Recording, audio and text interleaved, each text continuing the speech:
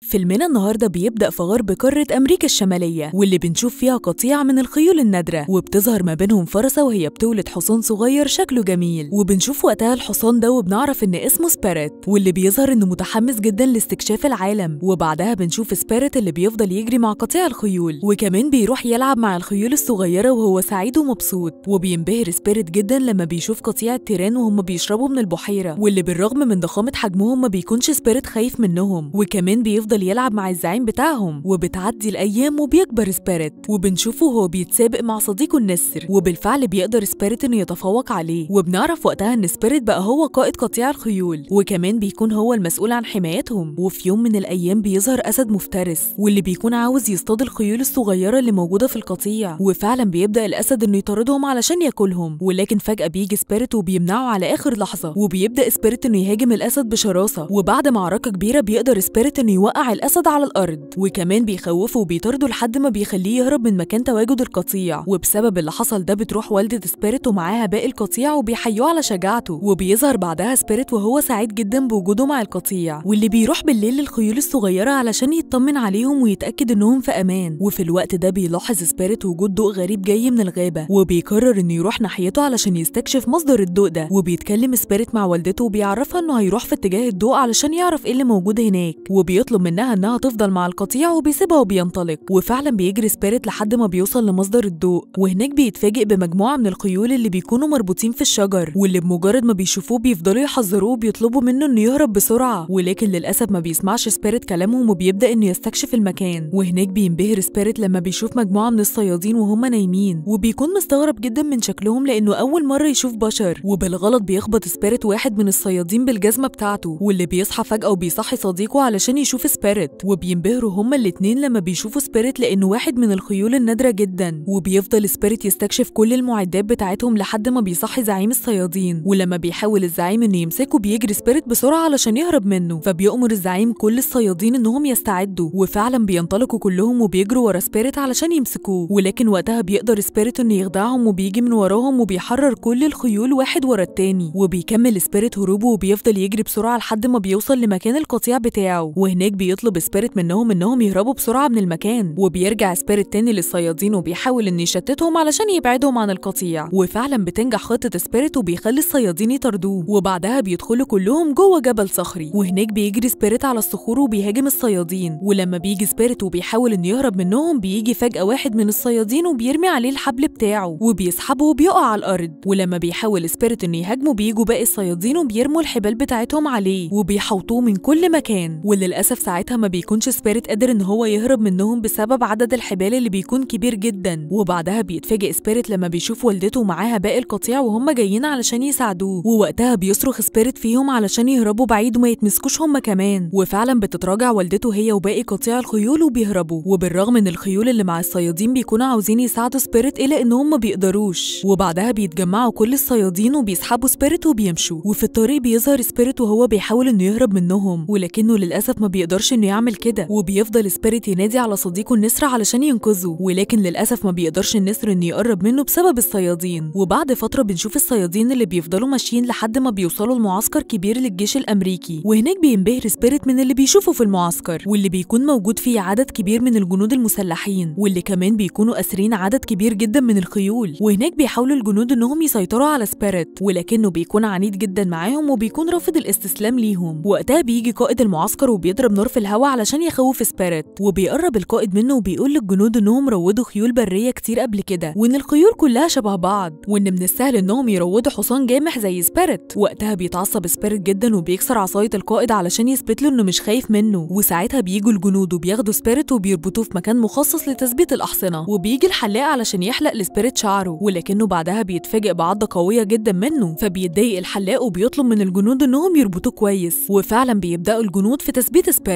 وبيبدأ الحلاق إنه يقص له شعره ولما بيحاول الحلاق إنه يركب له حدوه بيخبطه سبيريت جامد وبيوقعه على الأرض فبيتعصب الحلاق جدا منه وبيخلي الجنود يربطوه من كل مكان ولكن بعدها بيقدر سبيريت إنه يحرر نفسه وبيخبط الحلاق اللي بيقع على الأرض وبيفقد الوعي فبييجوا الجنود وبينقلوا سبيريت لساحة التدريب علشان يروضوه وكمان بيركبوا له لجام علشان يعرفوا يتحكموا فيه ولكن وقتها بيعاند سبيريت معاهم أكتر وكل ما بيجي جندي وبيحاول إنه يروضه بيجري سبيريت بسرعة وبيطيره وبيوقعه على الأرض وبيفضل سبيريت يوقع يوقع جندي ورا التاني وما بيكونش في حد من الجنود قادر إن هو يسيطر عليه وساعتها بينبهروا كل الخيول من اللي هم شايفينه وبيحيوا سبيريت وبيفضلوا يتفرجوا عليه وهم مبسوطين. ولكن وقتها بيظهر قائد المعسكر وهو متعصب جدا من اللي سبيريت بيعمله وبيظهروا كل الجنود وهم خايفين جدا من إنهم يقربوا منه. وبيفضل سبيريت بعدها يطير الجنود واحد ورا التاني بره ساحة التدريب وبعدها بيجري سبيريت بسرعة وبيخوف كل الجنود لحد ما بيوصل لقائد المعسكر اللي بيبان عليه إنه مش خايف منه. وفي الوقت ده بيطلب القائد من الجنود إنهم يربطوا سبيريت وإنهم يمنعوه من الأكل والمية لمدة 3 أيام. وفعلا بيروحوا الجنود وبيربطوا سبيريت في عمود موجود جوه ساحة التدريب وبيفضل سبيريت يحاول محاولات كتيرة علشان يقطع الحبل ولكنه للأسف ما بيقدرش. وبالليل بيفضل سبيريت يبص للسما وبيبان عليه إنه مفتقد والدته والقطيع بتاعه جدا. وفي تاني يوم بيظهر على سبيريت إن هو جعان وعطشان جدا. وبيفضل يتفرج على قائد المعسكر وهو بيشرب مية. وفي الوقت ده بيجوا مجموعة من الجنود اللي بيكونوا قبضوا على شاب من قبائل الهنود الحمر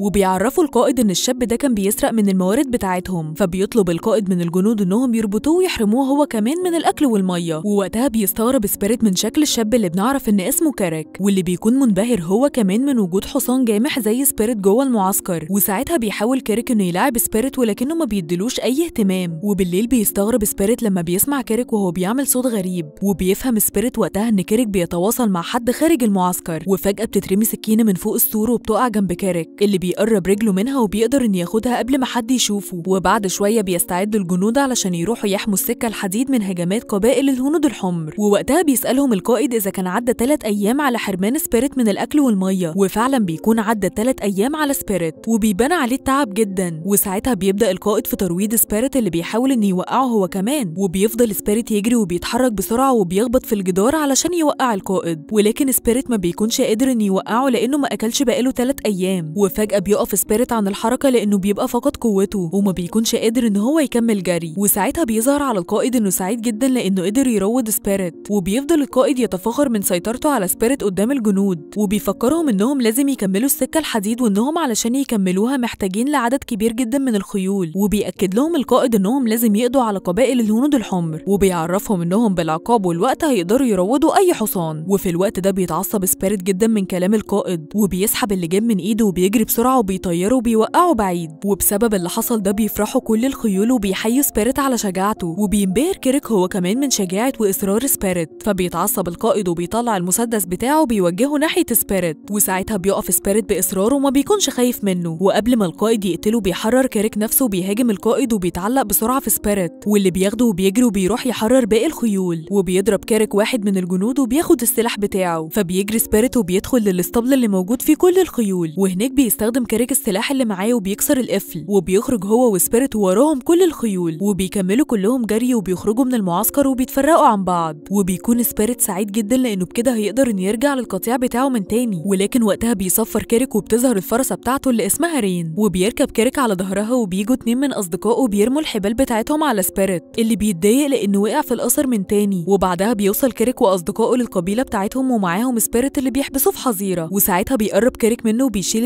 اللجام اللي كان مضايقه وبيصحى سبيريت تاني يوم وبيفرح لما بيلاقي تفاح محطوط جنبه علشان ياكل منه. وفي الوقت ده بيلاحظ سبيريت وجود رين واللي بيكون منبهر جدا بيها وبيحاول إنه يلفت انتباهها ولكنها ما بتديلوش أي اهتمام. فبيتضايق سبيريت لما بيشوفها بتلعب مع كيرك ومبسوطة جدا معاه. وبعدها بيرجع كيرك اللي بيحاول إنه يروض سبيريت ولكنه بيفشل. وساعتها بيتريقوا أصدقاء كيرك عليه وبيجري سبيريت وراه لحد ما بيخرج كيرك من الحظيرة. فبتجري رين وبتبدا إنها تتخانق مع سبيريت علشان تنقذ كيرك ووقتها بتيجي فكرة لكيرك وبيربط رين مع سبيريت وبيطلب منها إنها تهديه وبيفتح لهم باب الحظيرة. فبيفرح سبيريت جدا وبيجري بسرعة علشان يرجع للقطيع بتاعه. ولكن وقتها رين بتمنعه وبتقعد على الأرض علشان ما يهربش لبعيد. وبتلف رين الحبل حوالين سبيريت وبتوقعه. فبينبهر بيها سبيريت أكتر وبيفضلوا يتمشوا سوا وبتعرفه رين على أهل القبيلة وعلى الناس اللي عايشين فيها. فبيستغرب سبيريت من المعاملة اللطيفة اللي البشر بيعاملوها للخيول بتاعتهم على عكس الجنود اللي في المعسكر. وفي الوقت ده بتيجي بنت صغيرة وبتلعب مع سبيريت اللي بيواسيها لما بتقع علشان ما تعيطش. وبيروح سبيريت هو ورين علشان ياكلوا. وبيلاحظ إنها عاوزة تاكل تفاحة من على الشجرة. ولكنها للأسف بتكون بعيدة وما بتكونش رين قادر إنها توصل لها. فبينط سبيريت وبيجيب التفاحة وبيديها لها. ولكن رين ما بتاكلهاش لوحدها وبيتشاركوا هما الاتنين فيها. وبيبان عليهم إنهم أعجبوا ببعض أكتر. وبعدها بنشوف سبيريت وهو بيلعب مع كيرك اللي بيكون عاوز يروضه ولكنه ما بيعرفش. ساعتها بيروح سبيريت وبيقنع كيرك إنه موافق إن هو يمتطيه ولكن لما كيرك بيحاول إن يركب على ظهره بيخدعه سبيريت وبيوقعه على الأرض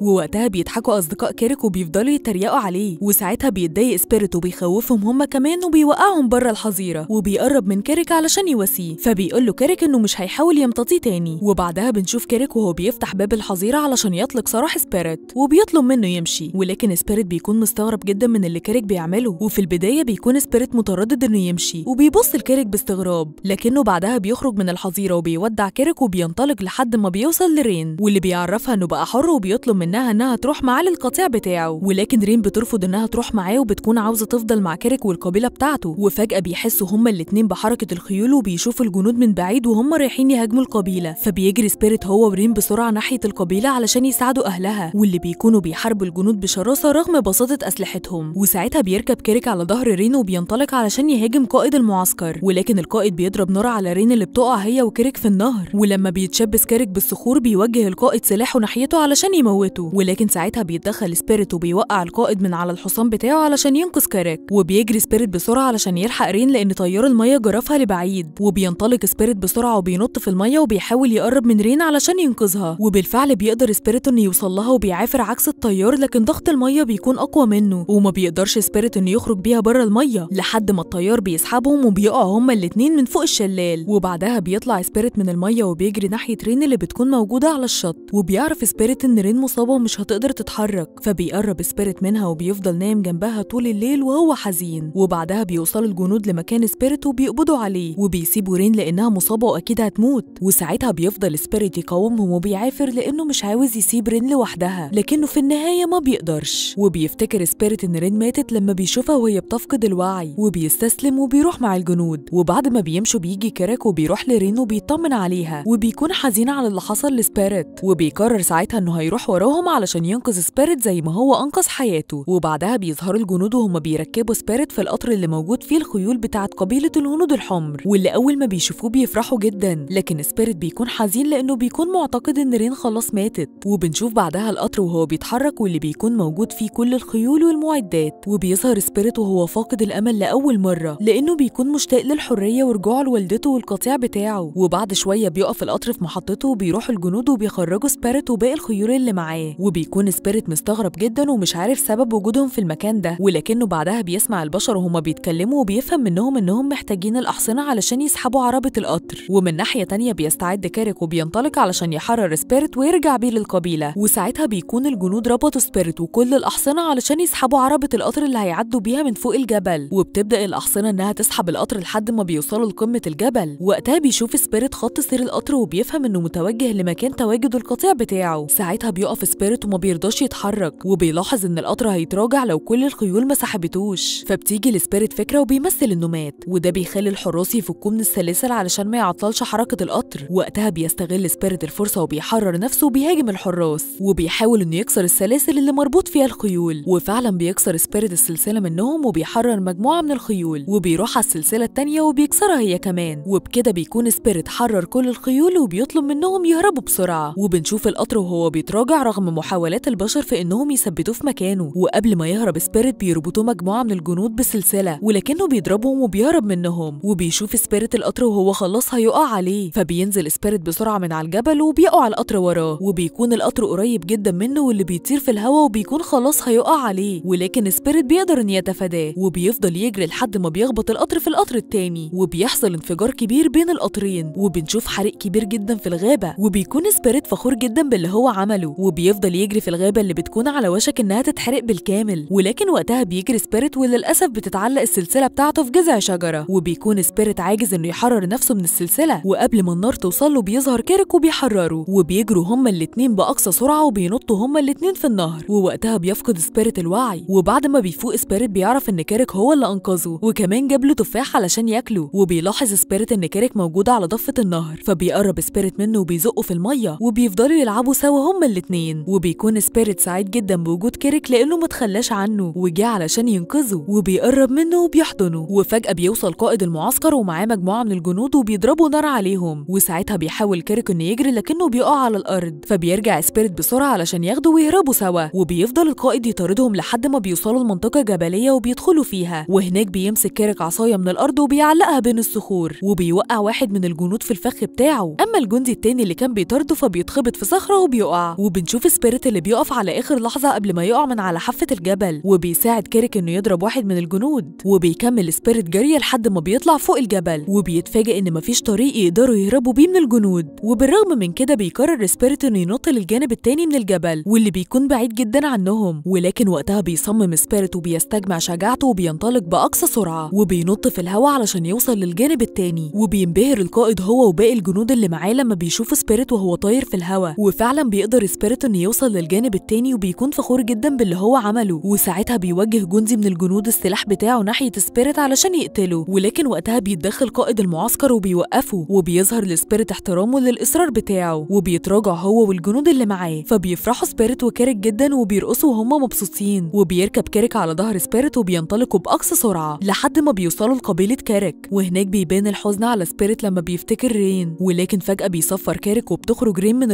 فبيفرح سبيريت جدا لأنها لسه عايشة. وبيجري سبيريت في اتجاه رين وبيقربوا هما الاتنين من بعض وبيرقصوا وهما مبسوطين. وبيرجعوا بعدها لكيريك اللي بيحضن رين. وبيقول لها إن هو هيفضل فاكرها مهما حصل. وبيطلب كيريك من سبيريت إن هو يهتم بيها وما يزعلهاش أبدا. فبيقرب منه سبيريت وبيحضنه. وبيودعوا سبيريت هو ورين وبينطلقوا. وبيكون سبيريت سعيد جدا وبيحيي كيريك لأن هو السبب في حريتهم. وبيفضلوا سبيريت ورين يجروا لحد ما بيقابلوا النسر اللي بيكون سعيد إنه شاف سبيريت من تاني وبعدها بيوصل سبيريت للقطيع بتاعه اللي بيحيوه وبيكونوا مبسوطين جدا برجوعه وبيحضن سبيريت والدته اللي بتفرح لما بتشوفه وبينطلق هو وباقي القطيع بكل حرية. فيلمنا النهاردة بيبدأ في أكبر سيرك موجود في قارة أمريكا الشمالية واللي بنشوف فيه عرض استعراضي للخيول مع واحدة جميلة اسمها ميلا واللي بيكون معاها زوجها اللي اسمه جيم وبنتهم الصغيرة اللي اسمها لاكي واللي بنشوفهم وهم قاعدين وسط الجمهور وبيتفرجوا على استعراضات ميلا بالحصان بتاعها وبيظهر جيم وهو مبسوط جدا بعرض زوجته ميلا. وكمان بنشوف لاكي اللي بتفضل تاكل من طبق الفراولة اللي قدامها بنهم جديد. وبنعرف إنها بتحب الفراولة جدا. وفي الوقت ده بتعمل ميلا حركة استعراضية خطيرة. ولكنها للأسف بتقع بالحصان بتاعها وبتموت قدام زوجها وبنتها. فبيتصدم جيم من موت زوجته. وبنعرف وقتها إن جيم اتعقد من الخيول وبقى بيكرهها جدا بسبب اللي حصل لزوجته ميلا. وبنشوف بعدها جيم اللي بيستصعب مهمة تربية بنته لاكي لأنها لسه صغيرة. وبيقرر إنه يسيب مهمة تربيتها على أخته كورا والده جيمس.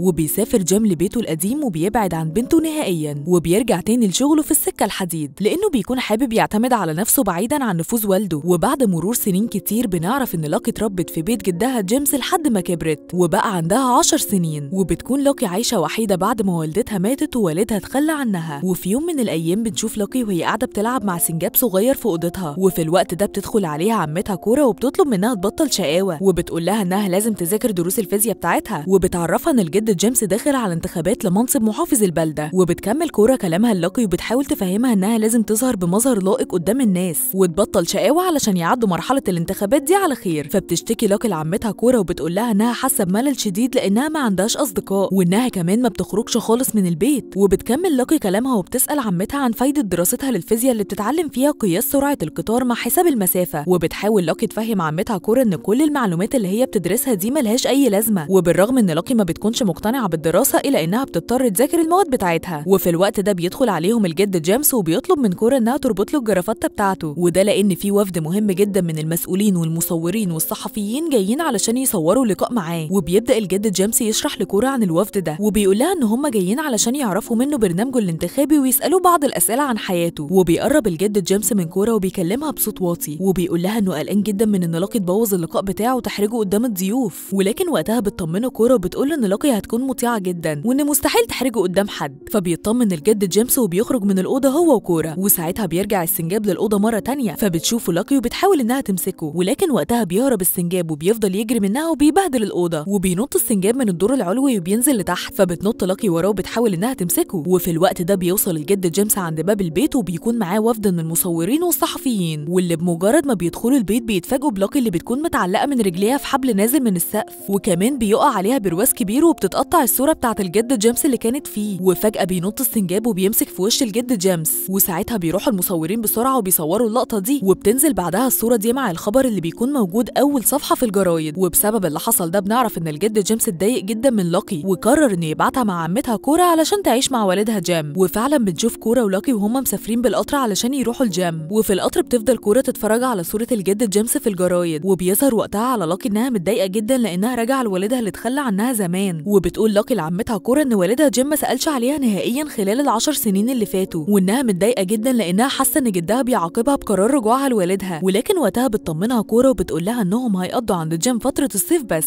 على ما يكون جدها خلص فترة الانتخابات دي وبعدها هيرجعوا له تاني. وبتكمل كورا كلامها وبتدافع عن جيم وبتقول للاكي إن هو كان غصب عنه وإنه كان مضطر يسيبها زمان لأنه وقتها ما كانش هيقدر يتحمل مسؤوليتها وإن القرار ده كان قرارهم كلهم بالمشاركة مش قرار جيم لوحده. فما بتهتمش لاكي بكلام عمتها لأنها بتكون واثقة إن والدها كان قاصد يتخلى عنها. وبعد شوية بتقوم كورا وبتسيب لاكي علشان تجيب حاجة تشربها من المحطة. وفي الوقت ده بتفتح لاكي شباك القطر وبتشوف حصان بري شكله نادر ومميز جدا. واللي بيفضل يتسابق مع القطر وبيكون وراه قطيع من الخيول البرية. واللي بيبان عليهم إن هم عيلته وعشيرته. فبتنبهر لاكي جدا من شكل الحصان اللي بيحرك جواها إحساسها وحبها تجاه الخيول اللي ورثته عن والدتها ميلا. فبتخرج لاكي من عربية القطر وبتفضل تتنقل من عربية للتانية علشان تلحق الحصان والقطيع بتاعه. لأنهم سبقوا القطر ولكن بعدها بتتفاجئ لاكي بعمتها كورا وهي راجعة. وساعتها بتنط لاكي من شباك القطر وبتمشي على حافة العربية من بره بحذر شديد. ولما بتلاحظ كورا غياب لاكي وبتشوفها من شباك القطر بتترعب جدا وبتتخض عليها. وبتجري بسرعة على آخر عربة في القطر علشان تنقذها. ومن ناحية تانية بتقدر لاكي إنها توصل لآخر عربة في القطر. وهناك بنشوف لاكي وهي بتتفرج على الحصان وباقي قطيع الخيول. ووقتها بيقرب الحصان من لاكي اللي بتقرب منه هي كمان علشان تلمسه. ولكن فجأة بتفقد لاكي توازنها وبتكون خلاص هتقع وساعتها بيجي شخص غريب اسمه هاندريكس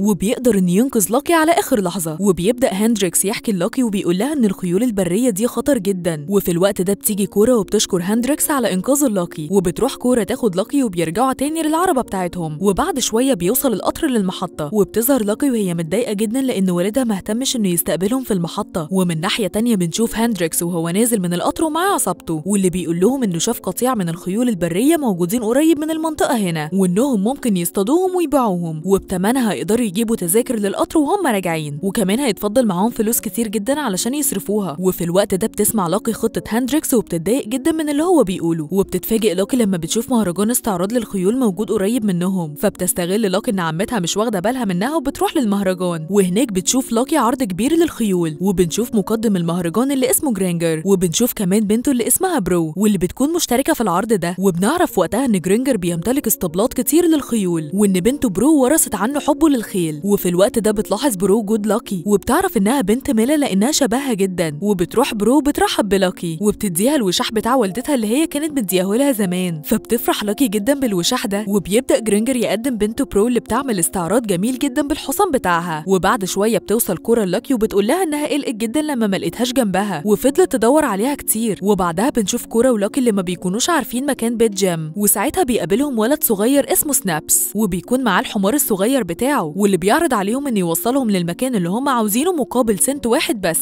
فبتوافق كورة وبتديله السنت وبتسأله عن بيت جيم. فبيقول لها سنابس إن هو هيوصلهم ليه. ولكنه بعدها بيشاور لهم على بيت معين وبيقول لهم إن هو ده البيت اللي هم بيدوروا عليه. وفي الوقت ده بتيجي أخت سنابس الكبيرة اللي اسمها أبيجيل. واللي بترمي الحبل بتاعها عليه وبتربطه بيه. وبعدها بتنزل أبيجيل من على الحصان بتاعها وبتاخد من سنابس السنت وبترجعه لكورة. وبتعتذر لها على استغلال أخوها ليهم. وبتتعرف أبيجيل على لاكي وبتقول لها إن والدتها مشهورة هنا جدا. وبترحب بيها في البلدة بتاعتهم. ولما بتسمع ابيجيل المقدم جرينجر وهو بينادي على اسمها بتروح تودع لاكي بسرعة علشان تلحق دورها في مهرجان الخيول وبتسيبهم وبتمشي. وفي الطريق لبيت جيم بتفضل لاكي تتكلم مع عمتها كورة عن حبها المفاجئ للخيل. وبتقول لها إن هي لما شافت بنتين صغيرين في سنها راكبين خيول في المهرجان حبت الموضوع. ولكن وقتها بتغير كورة الموضوع لأنها ما بتكونش عاوزة لاكي تتعلق بحب الخيل زي والدتها خصوصا إنهم معتبرين إن حب الخيل ده كان السبب في موت ميلا. وده لأنها وثقت في الحصان بتاعها جدا لكنه خانها ووقعها وتسبب في موتها وبمجرد ما بيوصلوا كورة ولاكي للبيت بيلاقوا جيم في استقبالهم. واللي بيرحب بيهم وبيدخلهم للبيت. وبياخد لاكي وبيطلعها الدور العلوي علشان يوريها أوضتها. وبيكون جيم عامل لبنته لاكي أوضتها كلها بورق حائط عليه ثمار الفراولة. وده لأنه عارف إنها بتحبها من صغرها. ولما بيشوف جيم الوشاح اللي مع لاكي بيسألها هي جابته منين. فبترد عليه لاكي وبتقوله إن صديقة والدتها هي اللي اديته لها. فبيقول جيم للاكي إنها كبرت وبقت شبه والدتها جدا. وأثناء ما هما بيتكلموا بيسمعوا صوت كورة وهي بتصرخ. وده لأنها شافت فار. فبيسيب جيم بنته لاكي وبيروح يطمن على كورة. وفي الوقت ده بتفتح لاكي شنطة هدومها علشان تبدأ ترتبهم في الدولاب. ولكنها بعدها بتتفاجئ لما بتشوف إن في فتحة صغيرة في الدولاب اللي بيكون باين من وراه أوضة سرية. فبتزق لاكي الدولاب وبتلاقي فعلا أوضة سرية موجود فيها كل هدوم وأدوات والدتها ميلا. وبتشوف لاكي إعلانات قديمة لوالدتها أيام ما كانت بتقدم استعراضات بالخيول. وساعتها بتفك لاكي شعرها وبتسيبه يتفرد. وبتفرح لاكي أكتر لما بتسمع صوت صهيل الحصان اللي شافته وهي راكبة القطر. وبتروح لاكي تفتح الشباك وبتلاحظ إن الصوت جاي من مكان قريب منهم فبتنزل لاكي من أوضتها بسرعة وبتروح للمكان اللي فيه الحصان. وهناك بتلاقي اسطبل وجنبه مكان واسع حواليه سور مخصص للخيول. وفي الوقت ده بتسمع لاكي صوت الحصان وهو جاي من جوه الاسطبل. وبيكون واضح على الصوت إن في ناس بتعذبه. وفي الوقت ده بتعرف لاكي من برو ان الاسطبل ده بتاعهم. وإن والدها جرينجر مأجره لمجموعة من الصيادين. وفجأة بيتفتح باب الاسطبل بقوة وبيخرج منه الحصان وبيكون هندريكس راكب عليه. وبيجري الحصان لحد ما بيوقع هندريكس من فوقيه. وبيكمل الحصان جري وبيفضل يقرب في اتجاه هندريكس علشان يخبطه ولكن بيقدر هندريكس إنه يلحق نفسه وبينط من فوق السور على آخر لحظة. ولما بيشوف لاكي قدامه بيقول لها إن هو نصحها قبل كده تبعد عن الخيول لأنهم خطر جدا. وبعدها بيتجمع هندريكس هو وعصابته وبيحوطوا الحصان تاني بالحبال وبيقدروا إنهم يمسكوه وبيبدأوا يشدوه ويعذبوه علشان يجي معاهم. وفي الوقت ده بتكون برو راحت تنادي والدها جرينجر وبتقوله على اللي هندريكس وعصابته بيعملوه في الخيول. فبيجي جرينجر وبيزعق لهندريكس هو وعصابته وبيقول لهم إن هو مش هيسمح لمستأجرين زيهم يعذبوا الخيل. فبيتحرج هندريكس هو وعصابته من جرينجر وبيعتذروا له. وبعدها بيقول هندريكس لعصابته إنهم لو قدروا يروضوا الحصان ده هيقدروا يبيعوه بفلوس كتير. وبيتفق معاهم إنهم هيكملوا خطتهم بكرة وبيربطوا الحصان في السور وبيمشوا. وبعد ما بيمشوا بتفك لاكي الحبل اللي الحصان مربوط بيه. وساعتها بتقرر لاكي إنها هتسميه سبيريت. وبتقعد لاكي مع برو بيفضلوا يتكلموا وبيتصاحبوا على بعض. وبعدها بترجع لاكي على البيت. وبيجي الليل وبتكون لاكي قاعدة بتتعشى مع والدها وعمتها. وفي الوقت ده بيشوف جيم صورة والده مع السنجاب. وبتكون لاكي فاكرة إن والدها هيتضايق من اللي حصل لوالده بسببها. ولكن الغريب إن جيم بيفضل يضحك على الصورة. فبتنتهز لاكي فرصة إنه بيضحك وبتقول له إن هي عايزة تربي حصان. فبيتضايق جيم جدا خصوصا لما بيعرف إن لاكي قصدها على الحصان البري المتمرد اللي موجود في الاسطبل القريب منهم. وساعتها بيرفض جيم طلب لاكي وبيقول لها إن هو رافض وجود أي حصان في حياتها. وده لأن هو لحد دلوقتي مش قادر ينسى اللي حصل لوالدتها زمان. فبتتضايق لاكي جدا من رد فعل والدها وبتسيبه وبتطلع أوضتها. وفي تاني يوم بتصحى لاكي وبتخرج من البيت وبتروح للاسطبل علشان تشوف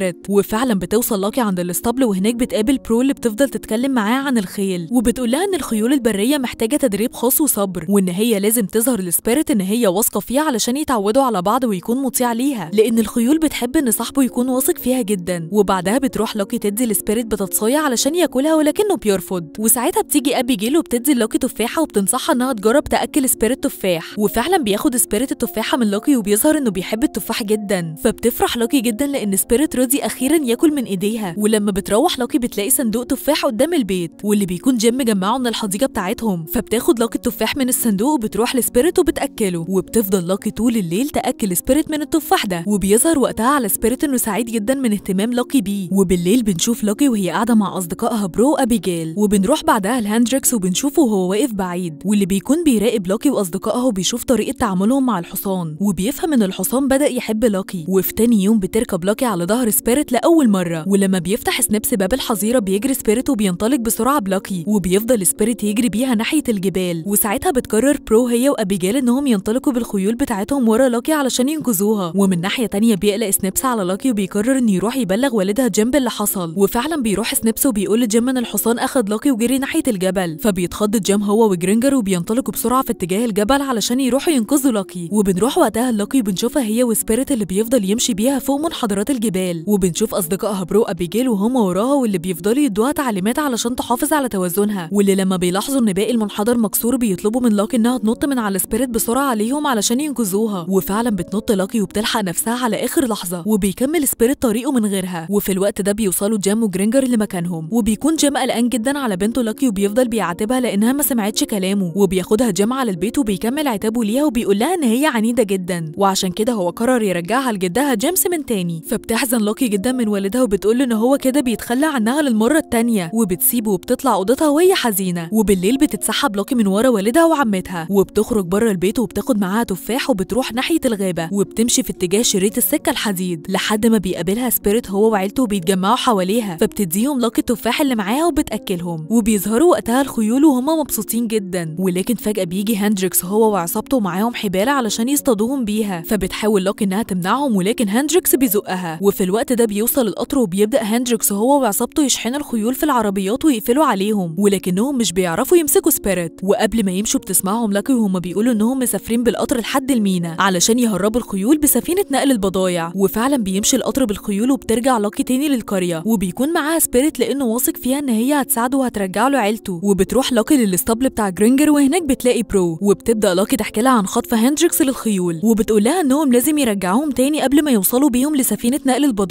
فبتطلع برو الخريطة وبتقول للاكي إن المينا بعيد جدا عنهم وإنهم لو راحوا ورا القطر مش هيلحقوهم. وساعتها بتفتكر لاكي دروس الفيزياء اللي ما كانتش بتحبها وبتكتشف إنها كان ليها لازمة. وفعلا بتحسب لاكي سرعة القطر مع المسافة والزمن وبتقول لبرو إن القطر لازم يقف في استراحة كل 100 ميل. وبتشاور لها على المحطة اللي المفروض القطر هيقف فيها واللي بتكون في مكان موجود فيه خزان مية كبير. وبتقول لاكي لبرو إنهم لو اختصروا الطريق لحد خزان المية ده من خلال الجبال هيقدروا يوصلوا للمحطة قبل وصول القطر. وبتحاول لاكي تفهم برو إنهم علشان يقدروا يخرجوا الخيول من عربات القطر لازم القطر يكون واقف. وفي الوقت ده بتجيلهم أبيجيل وبتعرف منهم اللي حصل وبتسمع خطتهم. وبالرغم إن برو وأبيجيل بيكونوا مترددين في الأول من إنهم يساعدوا لاكي إلا إنهم بيوافقوا في الآخر علشان ما يسيبوهاش تروح المغامرة الخطيرة دي لوحدها. وفعلا بيروحوا هما الاتنين معاها بالخيول بتاعتهم. وبتكون لاكي راكبة على سبيريت وبيتجهوا كلهم ناحية الجبال وبيوصلوا لهضبة عالية تحتها وادي كبير. وبيكون في جسر بيربط بينها وبين هضبة تانية. ولما بيلاقوا إن الجسر ده متهالك وبينهار بيجربوا إنهم ينطوا بخيولهم من مكان تاني أقرب ولما بيجي الدور على لاكي وبتنط بسبيريت ما بيقدروش إنهم يوصلوا للناحية التانية وبيقعوا هما الاتنين في الوادي ولكن لحسن الحظ ما بيحصل لهمش أي حاجة وبعد شوية بيقدر سبيريت إنه يطلع تاني من الوادي وبعد شوية بيوصلوا لطريق عبارة عن صخور جبلية ضيقة وخطيرة جدا ولكن لاكي بتثق في سبيريت اللي بيبدأ يعدي من فوق الصخور الضيقة دي بحذر شديد فبيتشجعوا برو وأبيجيل وبيعملوا زي لاكي بالخيول بتاعتهم وفعلا بيقدروا كلهم يعدوا من المكان ده وبيفضلوا ماشيين لحد ما بيوصلوا لمكان قريب من خزان المية وبيفرحوا كلهم جدا وبيقرروا إنهم يخيموا هنا طول الليل. وفي تاني يوم بيروحوا عند خزان المية على ما يكون القطر وصل لهناك. ومن ناحية تانية بنشوف جرينجر وهو داخل الاسطبل بتاعه واللي بيلاقي سنيبس هناك وبيعرف جرينجر إن برو أبيجال ولاكي راحوا يحرروا الخيول البرية من العصابة اللي سرقتهم. فبيقلق جرينجر على بنته وبيروح بسرعة الجيم في بيته وبيقول إن بناتهم في خطر وبيحكي له على اللي حصل. فبيقلق جيم جدا على بنته وبيروح يفتح مخزن جنب بيته. وفي المخزن ده بيكون جيم صمم عربة قطر سريعة جدا وكمان بيكون مسميها ميلا على اسم زوجته وفعلا بيبدأوا هما الاتنين يتحركوا بالعربة وبينطلقوا بسرعة علشان ينقذوا بناتهم. وفي تاني يوم بتسمع لاكي صوت القطر وهي نايمة. فبتقوم بسرعة من النوم وبتلاقي سبيريت بيجري ناحيته. فبتفهم لاكي إن القطر وصل قبل ميعاده وبتصحي برو أبيجال وبينزلوا يجروا كلهم ناحية القطر. ولكن للأسف بيكون هندريكس شاف سبيريت وبيأمر عصابته إنهم يمسكوه بالحبال ويشحنوه معاهم على القطر. وفعلا بيعملوا كده وما بتلحقش لاكي وأصدقائها إنهم ينقذوا الخيول لأن القطر بيتحرك بسرعة. وساعتها بتحس لاكي باليأس جدا خصوصا إن سبيريت اتمسك هو كمان. ولكن وقتها بيشجعوها اصدقائها وبيعرفوها إنهم لسه قدامهم فرصة يروحوا على المينا بسرعة ويلحقوا القطر هناك. فبتتشجع لاكي وبتروح هي وأصدقائها للمينا. وهناك بيلاقوا القطر وكمان سفينة نقل البضايع. وفعلا بتقدر لاكي إنها تطلع فوق القطر وبتدخل العربة اللي فيها سبيريت وبتقدر تحرره. ولكنهم للأسف بيكتشفوا إن باقي الخيول خلاص اتشحنوا على السفينة. فبتطلع لاكي بسبيريت فوق رافعة عالية جدا وبتنط من فوقها على السفينة. وفي الوقت ده بيكونوا جيم وجرينجر وصلوا بالعربة للمينا. ولما بيشوف جيم بنته لاكي وهي بتنط فوق السفينة بالحصان بيقلق جدا خصوصا إن السفينة بتكون خلاص اتحركت. ولكن وقتها بيقرر جيم إنه ما يتخلاش عن بنته تاني. وبيروح هو وكورا وجرينجر وبياخدوا قارب وبيجدفوا بيه ورا السفينة. وفي الوقت ده بتكون لاكي قاعدة بتدور على المكان اللي العصابة حابسين فيه الخيول. وفعلا بتقدر لاكي إنها توصل له وبتحرر كل الخيول. ومن ناحية تانية بيكون هندريكس هو وعصابته بيحاولوا يمسكوا سبيريت بالحبال بتاعتهم. ولما بيقدر هندريكس إنه يكتفه بالحبال بتركب لاكي فوق سبيريت وبتجري بيه ناحية هندريكس وبيوقعوه في البحر. وساعتها بتلاحظ لاكي وصول جيم وكورا علشان